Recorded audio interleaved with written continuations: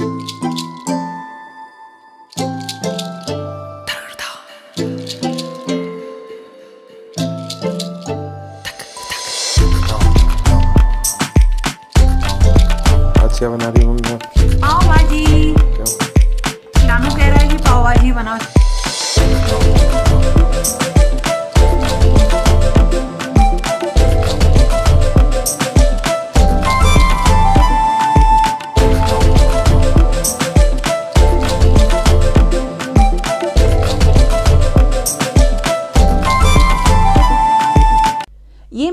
साल का ना पहला व्लॉग है और ये नया साल का पहला ही दिन है और मैं आपके साथ शेयर कर रही हूँ अपने दो दिन का व्लॉग तो एक दिन तो मैंने कुछ नहीं किया न्यू ईयर वाले दिन बस भगवान की पूजा करनी थी। ये तो मेरा पहला काम हो ही जाता है और मतलब हर दिन, नया साल नहीं, हर दिन ही मैं जो मॉर्निंग में अपना काम शुरू करती हूँ वो भगवान की पूजा से करती हूँ। ड्रेस मंगाई थी अच्छी अच्छी एक गड़बड़ आई थी। आपके साथ जो मैं शॉर्ट्स बनाती हूँ ना, उसमें शेयर किया था। और हाँ आप लोग इंस्टाग्राम पर भी मुझे फॉलो कर लेना। अगर फॉलो नहीं किया है, वहाँ भी मैं ये सारी चीज़ें शेयर करती हूँ। तो अच्छा लगेगा, आप लोग अगर मुझे इंस्टाग्राम पे फॉलो करेंगे। तो इस तरह से जो मॉर्निंग में अपने ठाकुर जी को स्नान कराना और उनकी ड्रेस वगैरह सब चेंज करना, ये डेली का ही काम होता है। आज नई ड्रेस मैंने उन्हें पहनाई है और अपने जो पाठ वगैरह करती हूँ, जो आप हमेशा मुझसे पूछते हो, किसी डिटेल वीडियो में मैं आपके साथ शेयर करूँगी। तो दोस्तों, आप सब लोगों को नए साल की बहुत सारी, नए कैलेंडर ईयर की बहुत ढेर सारी शुभकामनाएँ और ईश्वर आपको सुख समृद्धि अच्छा स्वास्थ्य और आपके जीवन के आने वाले रास्तों को सुगम बनाए। तो चलिए शुरू करते हैं आज का वीडियो। जा तो से नहीं, तो से नहीं, तो से नाही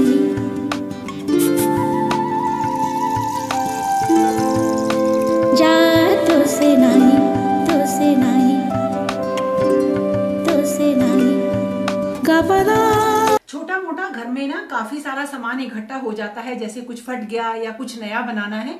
तो जब ये इकट्ठा काफ़ी सारा हो जाता है, तब मैं अपनी सिलाई मशीन निकालती हूँ और इकट्ठे सारे काम निपटाती हूँ। और वैसे भी ना जाड़ों में एक जगह बैठ के काम करना काफ़ी सही रहता है। तो मैंने आज अपनी मशीन निकाली है काफ़ी दिनों बाद, क्योंकि फेस्टिवल्स और उसके बाद काफ़ी दिन तक मैंने जो है कुछ सिलाई का काम नहीं किया था और मुझे करना बहुत ज़्यादा पसंद है, कुछ नया करना। तो आज मैंने अपनी मशीन निकाली है। थोड़ा सा जो उसमें चीज़ें इधर उधर हो रही थी, उनको भी सही करूँगी।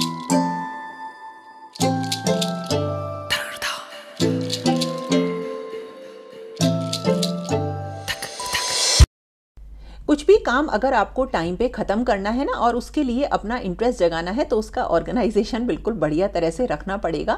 ये मेरा एक रूल और नियम है लेकिन हाँ हमेशा मैं इसको फॉलो नहीं कर पाती हूँ क्योंकि दिन भर में बहुत सारे काम होते हैं। तो इसी तरीके से जब फेस्टिवल के दौरान मैं वीडियोज़ बना रही थी ना तो फटाफट अपने अ, मतलब काम ख़त्म किया और सारे सामान को बस उसकी जगह पे मैं रख दिया करती थी। तो थोड़ा सा मैस हो गया था खासकर जो मेरा स्टिचिंग का सामान है और वो सामान जो कि छोटा छोटा होता है। तो इसको मैंने आज शुरू किया तो सोचा कि सब संभाल लूँ। तो आपके साथ शेयर भी कर रही हूँ। ढेर सारी रील मेरे पास रहती हैं और इन सारी चीज़ों को अ, मतलब जितनी भी सिलाई की चीज़ें होती हैं इस पर तो मैंने एक अलग वीडियो आपके साथ शेयर कर रखा है ऑलरेडी लेकिन हाँ छोटी छोटी लगभग सारी चीज़ें मैंने अपने स्टिचिंग के कामों के लिए ले रखी हैं। और ये सारा जो सामान होता है इसको मैं ऑर्गेनाइज करती हूँ कुछ इस तरह से कि अलग अलग सामान अलग अलग कैटेगरी का मतलब इस तरह से रहे कि सारी रील्स एक तरफ़ हैं। जो छोटा मोटा सामान जैसे ग्लूज हैं पेन है मार्कर्स हैं और ये देखिए डोरी डालने वाली आ, मतलब चीज़ें हैं ये सब आ, मतलब एक जगह रखना है और इसमें भूलती नहीं हूँ कि कोई भी छोटी चीज़ मिस हो जाए क्योंकि देखिए वीडियोज़ हम बनाते हैं तो उसमें सब चीज़ों की ज़रूरत पड़ती है और ये मेरी एक डायरी है जिस और मैंने रखे अभी मशीन के जो फुट होते हैं ना प्रेशर फुट वगैरह होते हैं और जब मैं इनको सीखती हूँ क्योंकि इसमें से अभी कुछ मैंने यूज़ नहीं किए हैं तो वो सारी चीज़ें मैं इस डायरी में नोट डाउन कर लेती हूँ और इन सारी चीज़ों को मैं इस तरीके से रखती हूँ डाइनिंग टेबल के साइड में और ये एक ऑर्गेनाइज़र है, ये यहीं पे रहता है और मैं ज़्यादातर अपना इस मशीन का काम इसी डाइनिंग टेबल पे बैठ के करती हूँ तो ये साइड में रखा रहता है और मुझे बहुत ही ईजी होता है काम करना। और जो बाकी की चीज़ें हैं, वो मेरे डाइनिंग टेबल के नीचे एक स्पेस है, मैं वहाँ पर अपने जो सिलाई का डब्बा वगैरह होता है, वो रख देती हूँ। तो बस मुझे मशीन उठा के लानी होती है और मेरी सिलाई शुरू हो जाती है।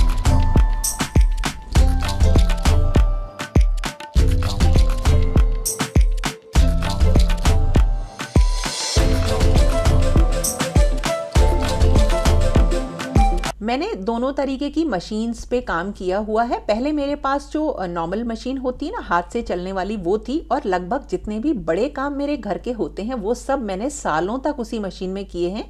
और ये मेरी इलेक्ट्रिक मतलब ऑटोमेटेड आप समझ लीजिए मशीन है। इसकी सारी चीज़ें भी डाइनिंग टेबल पर ही रहती हैं एक एक्सटेंशन के साथ, क्योंकि ये बिजली से चलती है। और जब कभी भी कोई भी काम सिलाई का स्टार्ट करती हूँ तो जो मेरी शटल्स वगैरह होती हैं ना, उनको कलर्ड धागों में भर के ही मैं रखती हूँ। ये मैंने मशीन से एक्स्ट्रा मंगा रखी हैं और हर कलर के हिसाब से हैं, ये प्लास्टिक की हैं। तो जिस कलर की है, उसी में मैंने वही सेम कलर का थ्रेड भर के रख लिया है। और अब मैं शुरू कर रही हूँ आज का सिलाई का काम, जो कि मुझे मतलब दो दिन दिन से लग रहा था कि मुझे करना ही है। ये प्रेस करने वाली टेबल में लेकर आई थी अभी कुछ दिनों पहले आपके साथ शेयर किया था और इनका जो कवर होता है ना ये काफ़ी पतले कपड़े का यानी प्योर कॉटन का बना होता है जो बहुत ही जल्दी गंदा हो जाता है और आ, मतलब आ, जलने का भी इसका डर रहता है। और वैसे भी जब गंदा हो जाए तो बदलने के लिए हमारे पास ऑप्शंस होने ही चाहिए और ये कवर्स जो होते हैं ये निकल जाते हैं मशीन से। तो मैंने ये एक मोटा फैब्रिक लिया इसको कि कैनवस फैब्रिक बोलते हैं और ये काफ़ी थिक होता है मोटा होता है और जल्दी से जलता नहीं है और इसकी जो ग्रिप होती है ना, वो टेबल के ऊपर इतनी अच्छी बनती है कि ये सरकता भी नहीं है। तो मैं इसी की मदद से बनाने जा रही हूँ, अपनी इस टेबल का कवर फटाफट 10 मिनट में बन जाएगा।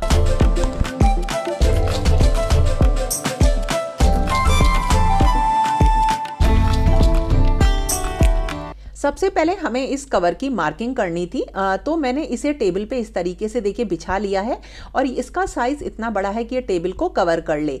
और जो पैटर्न है, डिज़ाइन है टेबल का ना, उसके अकॉर्डिंग मैंने इस तरीके से लाइन खींच ली ताकि जो टेबल का पूरा साइज़ है ऊपर से वो इस कपड़े पर आ जाए। तो अभी हमें एक्स्ट्रा फैब्रिक भी लेना है जिससे कि हम इसमें चीज़ें मतलब इसमें एक साइड में बॉर्डर बनाएँगे, नेफा बनाएँगे जिससे कि हम इसको अंदर की तरफ़ कर सकें।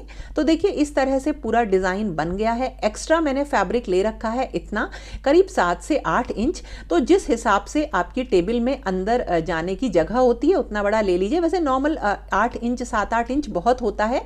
इसे मैंने कट कर लिया। देखिए, इतना एक्स्ट्रा है और साइड में मैंने इस तरीके से डोरी या नाड़ा या इलास्टिक डालने के लिए नेफा मैंने बना लिया।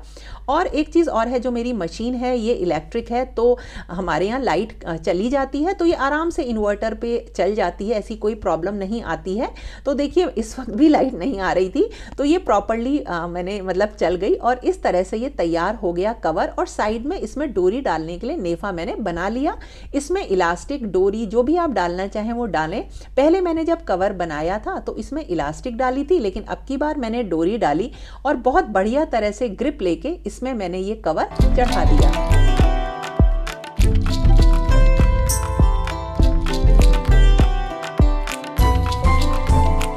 जो ये बोर्ड आता है, इसके ऊपर लगी रहती है फोम, जिससे कि आप आराम से प्रेस कर सकें।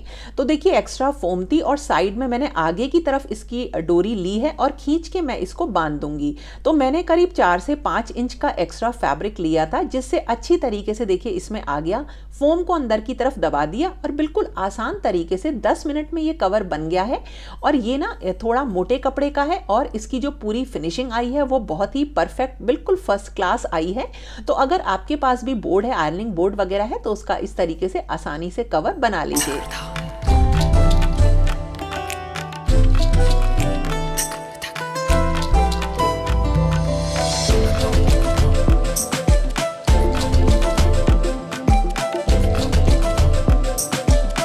और इस तरह से मैंने इसको यूज़ करना स्टार्ट कर दिया है तो बहुत ही ज़्यादा आराम हो जाता है। और सबसे अच्छी चीज़ ये है कि इसको ना हम बेड पे रख के भी कर सकते हैं। तो जो मेरी प्रेस करने वाला काम था वो बड़ा पेंडिंग हो रखा था इसी वजह से क्योंकि मुझे बेड के जल मतलब मेट्रोस के जलने का डर था ना तो अब ये काम मेरा प्रॉपर हो गया स्टार्ट। अच्छा बना रही हूँ पाव भाजी। क्यों शानू कह रहा है कि पाव भाजी बनाओ इसलिए पाव भाजी बना रही हूँ पहले अपना। शानू ही थोड़ा बोलता है डेली। डेली शानू ही बोलता है आज शानू ही बोल रहे हैं। पहले ये सिलाई का काम अपना पूरा कर लूँ फिर पाव भाजी बनाने जा रही हूँ। मैं बनाऊँगी देखो चलेगा जिन्होंने और मैं बनाऊँगी केवल भाजी और पाव शानू सेके।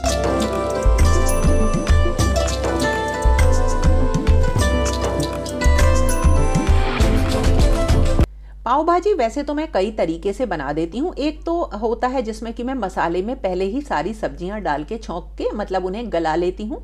और दूसरा तरीका यह है कि पहले सारी सब्जियों को बॉईल करके फिर उसका मसाला प्रिपेयर करके बनाया जाए। दोनों ही बढ़िया लगती हैं। और हाँ जब कुछ भी मैं काम करती हूँ सिलाई का या कोई डीआईवाई का या जो भी वीडियोज़ का होता है तो हमेशा किचन में रहना पॉसिबल नहीं होता। बच्चे अपने लिए कुछ भी कॉफ़ी वगैरह बनाते रहते हैं तो थोड़ी सी किचन मतलब मैसी हो जाती है। लेकिन जब कभी भी मैं किचन में आती हूँ तो इसे सही कर देती हूँ।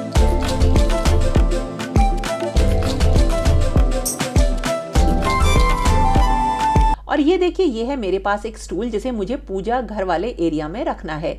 तो वहाँ मुझे इस तरह से नहीं रखना था। मैं चाहती थी कि इसका थोड़ा सा जो पैटर्न हो, वो मेरे पूजा रूम को कॉम्प्लीमेंट करे। तो इसके लिए मेरे पास ना एक फैब्रिक है, जो कि देखिए, इस तरीके के प्रिंट का है जो कि पूजा के लिए बहुत ही ज़्यादा सूट करेगा।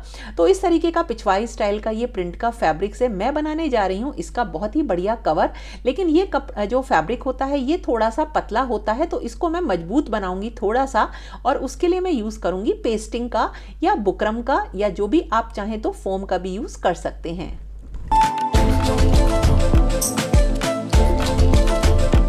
और जो पेस्टिंग वगैरह का सामान रहता है, वो यहाँ पे मैं नहीं रखती हूँ। तो जो बुकरम हुआ पेस्टिंग हुआ, वो मेरी एक अलग अलमीरा है, जिसमें सिलाई का सामान रहता है। किसी दिन आपको उसका भी टूर दूँगी।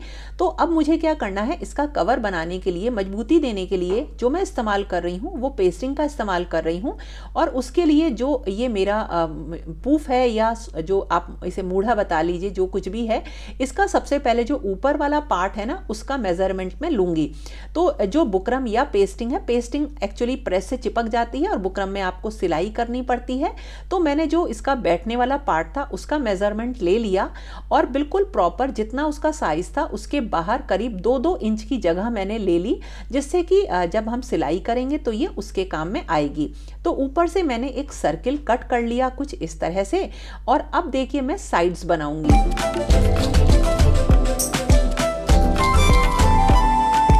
लेकिन साइड बनाने से पहले इस पेस्टिंग के ऊपर फैब्रिक भी पेस्ट करना था। तो जो पिछवाई स्टाइल का मैंने अभी आपको प्रिंट दिखाया था, वो थोड़ा सा टेरिकॉट टाइप का सिंथेटिक फैब्रिक है। तो उसको मजबूती देने के लिए मैंने इसका यूज़ किया है। तो देखिए, जो इसका पेस्टिंग का जो चिकना वाला पार्ट होता है, उसे ऊपर रखा और उसी के ऊपर ये कपड़ा रखा मैंने और प्रेस से दबा के अच्छी तरीके से इस पेस्टिंग को चिपका लेते हैं। पेस्टिंग से फिनिशिंग कपड़े की सौ गुना बढ़ जाती है बजाय बुकरम के।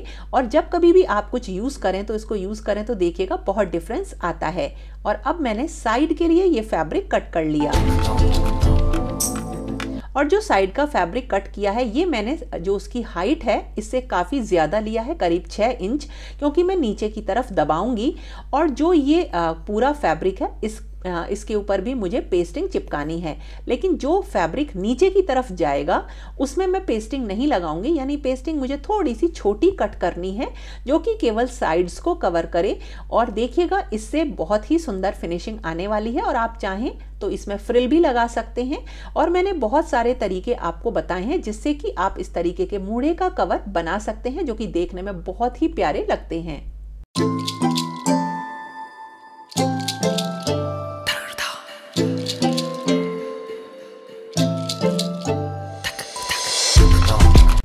और जो अब नीचे वाला पार्ट था, उसमें मैंने नेफा बना लिया, क्योंकि उसे मुझे नीचे से बांधना है ताकि फिनिशिंग फिर वही चीज़ें अच्छी आए। एक्चुअली जब फिनिशिंग अच्छी आती है तो आपको दोबारा से कोई भी चीज़ बनाने का मन करता है, नहीं तो ऐसा लगता है कि हमसे अच्छी चीज़ बन ही नहीं रही है। तो बहुत कायदे से मेज़रमेंट लेके धीरे धीरे इन सारी चीज़ों को बनाइए। शुरुआत में हो सकता है, अगर आप बिगनर हैं तो चीज़ें खराब बने, लेकिन बाद में धीरे धीरे हाथ में सफ़ाई आ ही जाती है।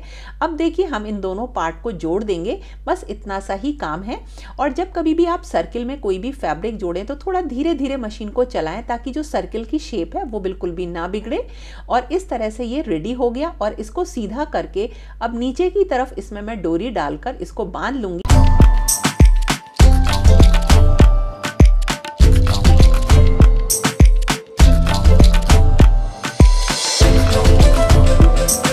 थोड़ी सी चीज़ें मुझे मैचिंग की ज़्यादा पसंद आती हैं। वैसे तो इसका डिज़ाइन ऐसे भी सही था, लेकिन क्योंकि इसे अब पूजा घर में रखना है ना तो वहाँ को कॉम्प्लीमेंट ये करे, ये मेरे लिए बड़ा ज़रूरी था। बिल्कुल सफ़ाई से मैंने बनाया इसको और नीचे इसमें मैंने डोरी की जगह रस्सी डाली है, क्योंकि यही मेरे पास अवेलेबल थी।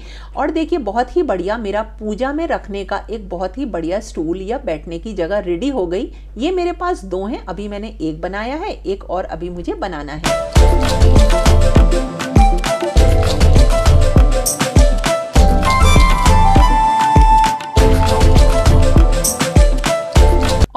बारी आई शानू की पाव भाजी की, हम लोगों को मन था कि बढ़िया चीज़ खाएँ, इसीलिए बनाए।